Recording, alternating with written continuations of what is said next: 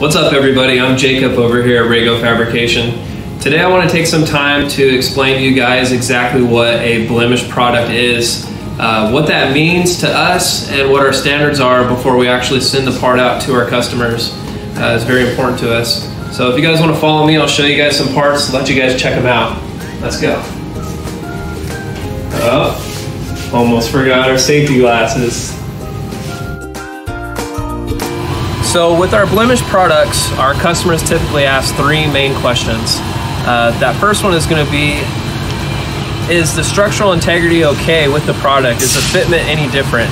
The second one is, what does blemish actually mean to Rago? What's the definition of blemish to us?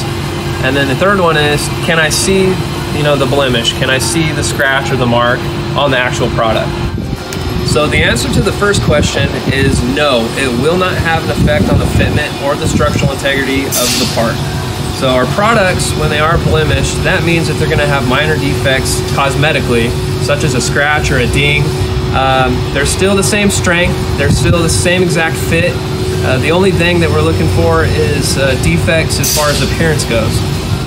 So question number two, what does blemished exactly mean to Rago?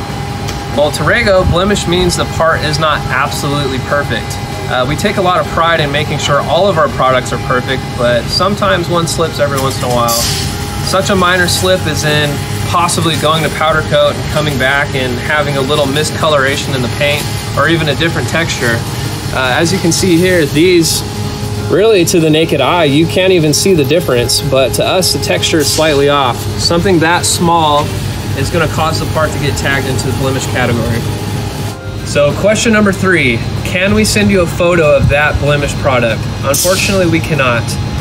The products are actually packaged almost immediately after they are marked blemished, and uh, every blemish is gonna be a little bit different.